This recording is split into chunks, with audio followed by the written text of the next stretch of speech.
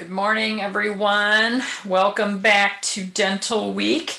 And um, today we are going to talk about safe anesthetic dentistry because I know that for so many of you, that just instills panic that you are so worried about losing your pet under anesthesia for a dental cleaning that it's very easy to keep putting it off or to avoid it. And I, I understand. Um, I have had many, many, many animals over the years, and I have had dental cleanings under anesthesia done on all of my dogs and cats multiple times each. So um, I understand the hesitancy, and I happen to have a lot of old animals, a lot of animals with heart disease and other issues. And certainly that does kind of instill a little bit of panic. So, my hope today is that I can help you be a little less panicky and understand what steps need to be taken to ensure that your pet will come through this um, without any problems.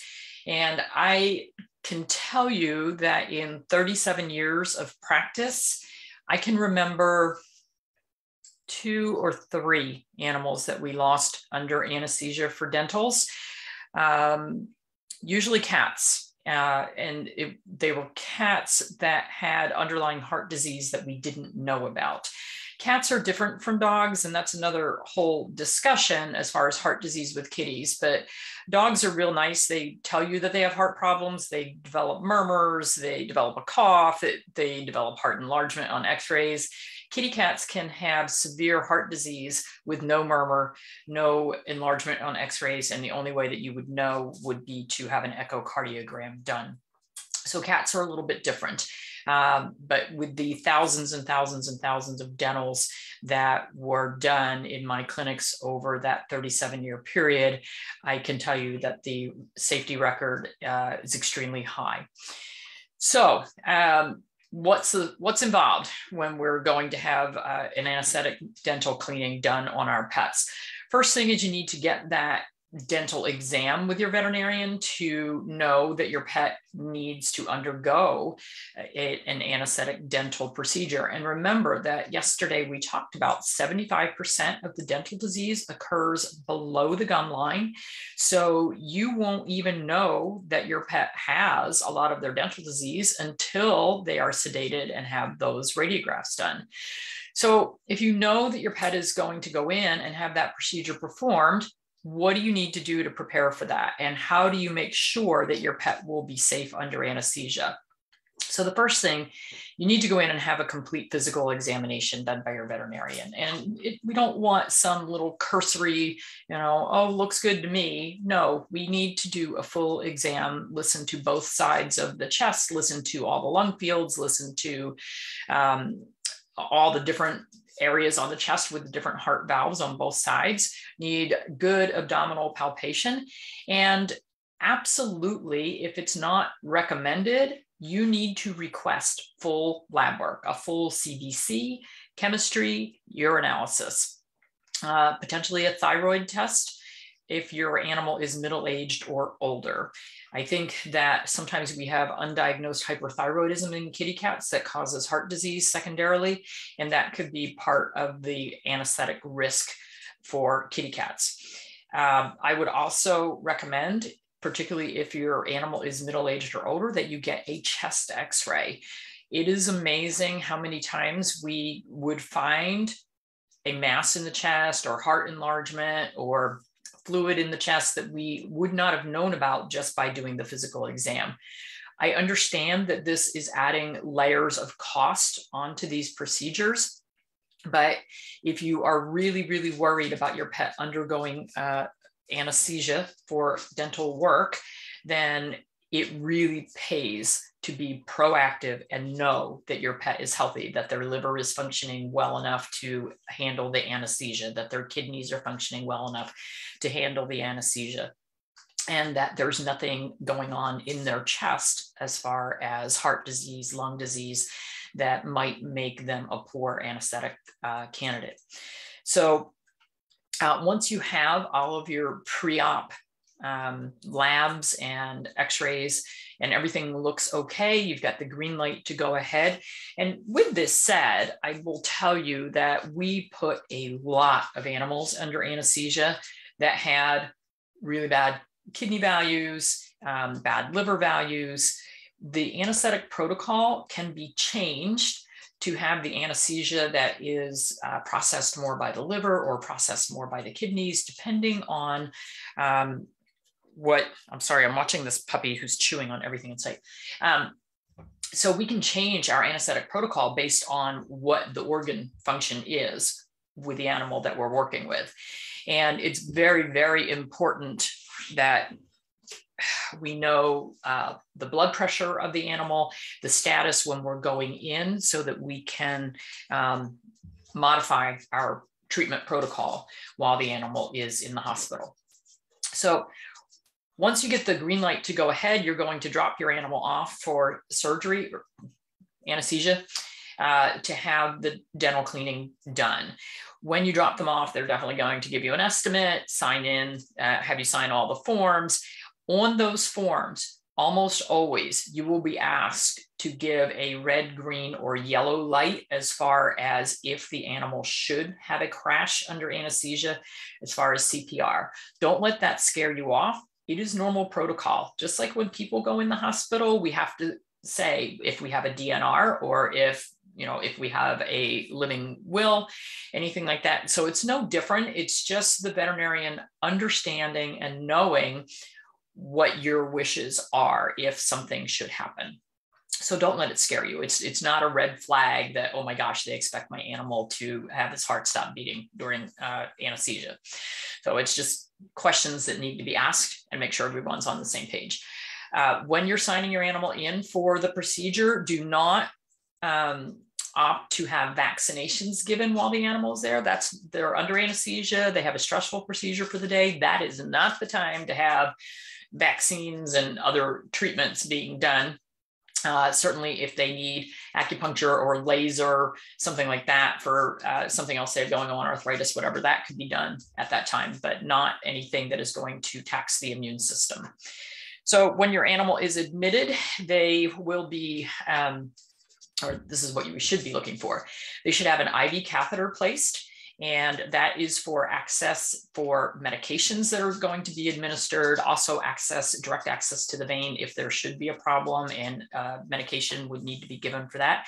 But also the animal should be on IV fluids. Every animal undergoing an anesthetic procedure should be on intravenous fluids because we need to make sure that the blood pressure is staying where it needs to be. If the blood pressure drops too much, we're not going to have good perfusion of the kidneys. And so the kidneys are needed to filter the anesthesia that is being given to get it out of the body. We need to um, make sure that the blood pressure isn't getting too high. So we need to monitor the fluid rate. So once your animal is set up with their IV catheter, their IV fluids, then generally an induction agent, which is a um, an anesthetic agent that will uh, sedate the animal enough that then an uh, endotracheal tube can be put into their throat. The endotracheal tube is basically their airway, keeps their airway open and there's a little cuff that is blown up on that tube so that none of the saliva and fluid and debris from the dental cleaning can go down the airway. Um, so very, very important that the animals are intubated during the procedure. Because of the intubation, they can have a bit of a, a soft cough, sore throat for a couple of days. If any of you have ever been intubated, you know that your, your throat is just going to be a little irritated for a couple of days. So that would be normal. The animal should be monitored very closely while it's under anesthesia, and you should ask what kind of monitoring will be done. Things that should be monitored would include blood pressure, body temperature, oxygen saturation, carbon dioxide levels, respiratory rate, heart rate, and an EKG because the heart can sound okay. The heart, you know, if they're just getting something that is giving a heart rate, it says, oh, the heart rate's 100. If you're not looking at an EKG, you won't know if there are abnormal heartbeats going on or if there's an, an, arrhythmia. So I always had an EKG monitor that was set up right next to the animal's head so that we could keep a really close eye on that. And our monitoring equipment also monitored the blood pressure, the temperature, the oxygen, the respiratory rate, all on one monitor, one machine, so that we could keep very close tabs on what was going on with the animal. And um, when they're being monitored, if all of a sudden there's a heart arrhythmia or the blood pressure drops or the blood pressure spikes, that gives you the ability to make instant changes. Very rare, but once in a while, I would have an animal that would have an uh, abnormal reaction to anesthetic. And we would say, okay, we're waking them up. This was a bad protocol for this animal. Doesn't mean they can't undergo anesthesia in the future. It means they can't undergo that anesthetic protocol. And that we have a lot of different drugs to choose from. So, um, once your animal is under, they're hooked up to their monitoring, they've got their fluids going. Um, then the technician or veterinarian who's doing the dental uh, should do a full mouth exam with that dental probe that we talked about. They're going to scale off the tartar and plaque that's there.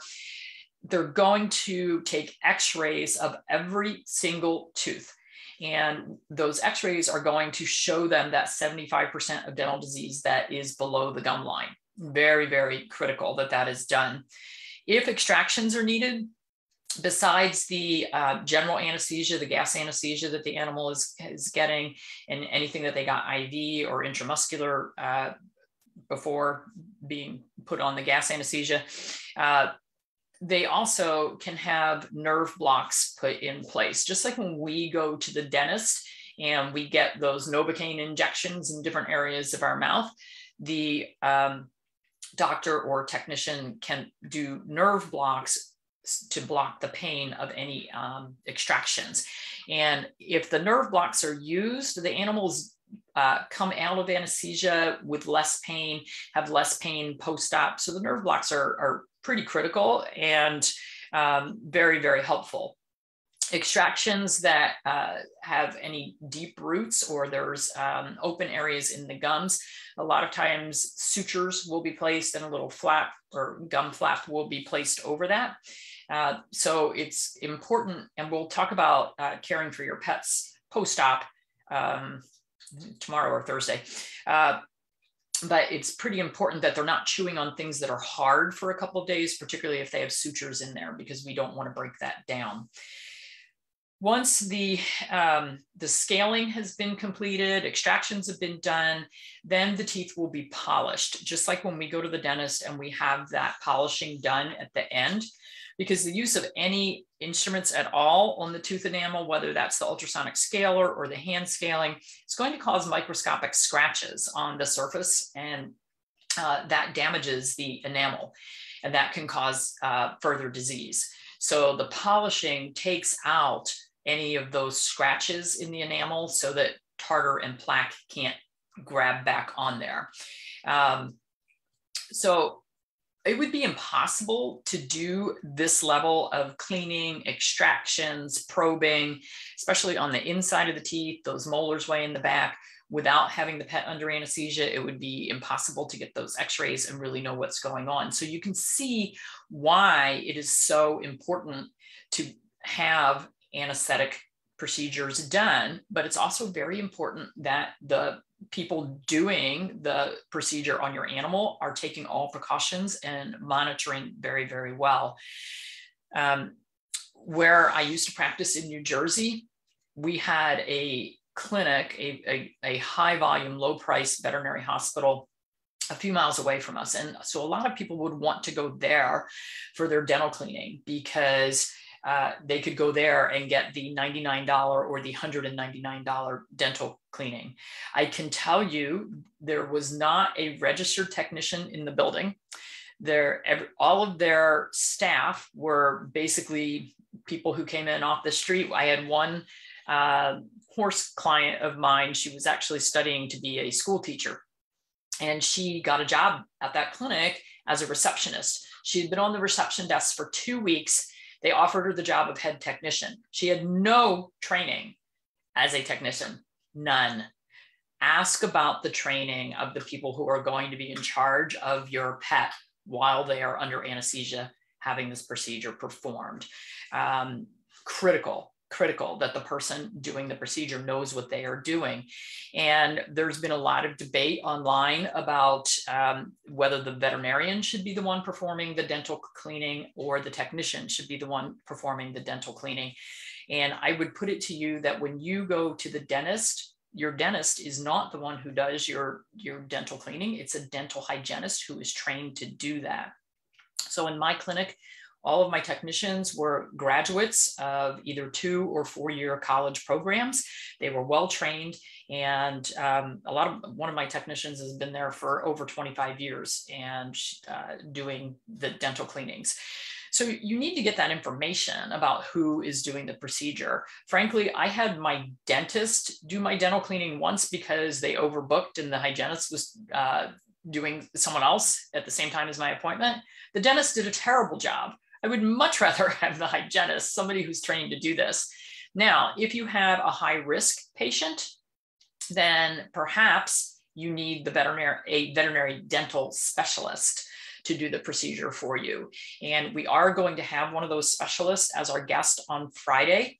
Um, this particular practice is up in Pennsylvania. They're part of a group that has a, a couple of uh, clinics in New Jersey and Pennsylvania they have board certified anesthesiologist and board certified veterinary dentist that do the procedures on the animals.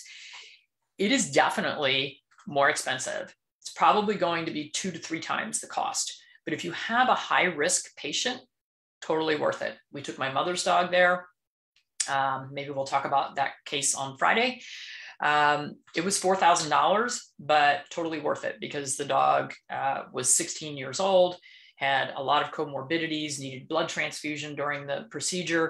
Um, so that was totally warranted. But it's it's really just asking questions and feeling comfortable with the answers that you're getting, feeling comfortable with who is doing the procedure, and uh, understanding what kind of monitoring is going to be done. Definitely important to have that pre-op workup really, really critical. You need to know what your pet's status is going in. If you have a pet with heart disease, certainly getting an echocardiogram before having them put under anesthesia is warranted. Um, all of our dogs, because of their heart disease, before I would do their dentals, they would go get their echocardiogram and I would get a sign off from my cardiologist. Yes, this pet is healthy enough to undergo that anesthesia. These are the uh, anesthetic protocols that would be good to use on this dog. These are the anesthetic drugs that should not be used on this dog or cat. So um, if you have an animal with those kinds of issues, then speak to your cardiologist. Um, once the animal is um, completed with uh, x-rays, extractions, suturing, polishing, then they'll be taken off their gas anesthesia um, and they are allowed to wake up with that tube still in their throat, just in case they would vomit or gag at, during recovery. We don't want them inhaling anything or aspirating anything. Once they are awake enough to kind of sit up sternally, they're swallowing, then we can pull that tube from the throat. They're still monitored as far as body temperature, uh, blood pressure. Um, uh, respiratory rate, heart rate, all that kind of stuff until they're fully awake and walking around.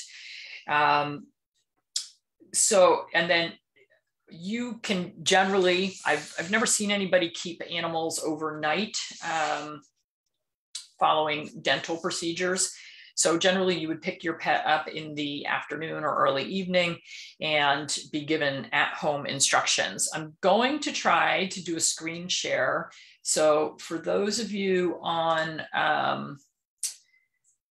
Instagram, maybe I can turn this around and you can, I can't see what my phone is looking at. Okay, so these are x-rays from Gwen's cat. So let's go back up here. Um, so this was, this is Reginald. He is 13 very shortly here. So this is uh, when he first came in prior to his dental cleaning, severe tartar, some gingivitis going on there. And this is after his cleaning. They cleaned up beautifully. Residual gingivitis, you can see we've got some redness secondary to the excessive tartar and plaque accumulation that will resolve over the next several weeks, especially with at-home care. Here's his endotracheal tube. You can see in his throat right here, this clear plastic. Let's see, that's before it was put in. All right, and so there's a big old chunk of tartar sitting on that tooth. These are his dental x-rays. So these are the upper incisors. There's a canine, there's a canine, there's his little incisors. This is his lower incisors and his big old canines. And you can see this is the canine. Here's the crown of the tooth starting there. Here's the root, goes all the way down here. You can see the root is almost twice as long as the crown. And so what is this? Upper right premolars, red arrows point to areas of missing teeth. So we're missing some there and there. Um, green arrow points to a tooth affected by tooth resorption that received a modified extraction. So that's that guy. Um, upper right canine mild bone expansion and resorption affecting the tooth root only right there. So there's some, some of the root has uh, reabsorbed. Lower right premolars and molar, the red arrow points to a tooth that is missing due to reabsorption. The green arrow points to the tooth with severe reabsorption affecting the crown of the tooth, and that one was extracted. hey, hey.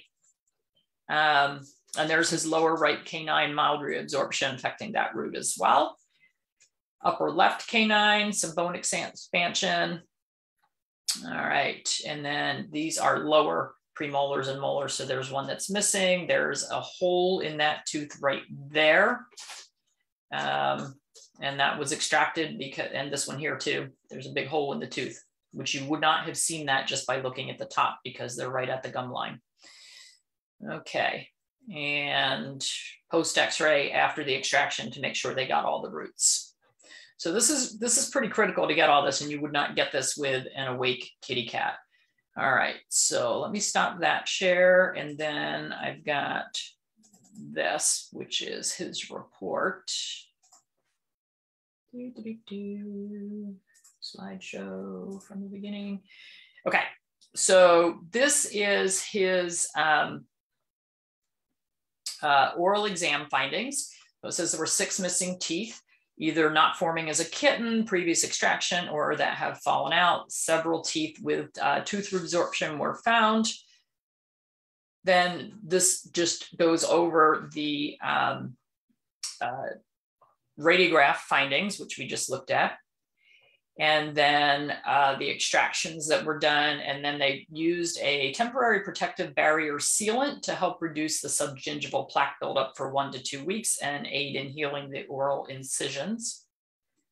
This is his dental uh, diagram, which they're color coded. So uh, where there are missing teeth, there are resorptive lesions, which ones were extracted. Uh, and then this was her uh, going home instructions. So, um, and we'll talk about this when we talk about post-op care in a couple of days. Uh, so he was sent home with pain medications, had a recheck scheduled, and um, did very well. I, oh shoot, uh, I have, oh my live video ended. Um, I have to say that Gwen's um, veterinarian does a really, really nice job on these. Um, does a, a really good job. Okay. All right, great. So uh, that's the kind of information you should be getting from your dentist. Uh, Instagram folks, I'm sorry, my phone stopped. Um, the uh, this is the kind of information you should be getting from your dentist. This is what you want to be looking for. Um, I don't know that we ever sent home the dental diagrams like that with our our clients, um, but we had them available for them um, if they wanted to see them. So hopefully this is helpful. Hopefully this will help set your mind at ease. It is possible to take animals with comorbidities like kidney disease, heart disease, liver disease, and get them through an anesthetic dental procedure. If they have rotten, painful teeth, it is unfair to allow them to suffer with ruined health and chronic pain. Dental pain is painful. So everyone have a wonderful day and we'll be on same time tomorrow. And I think we're talking about post op tomorrow. I can't really remember, but we'll get to it.